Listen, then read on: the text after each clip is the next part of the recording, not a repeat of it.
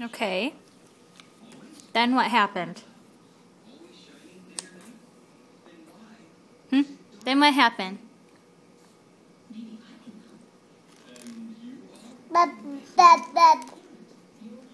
Mm-hmm.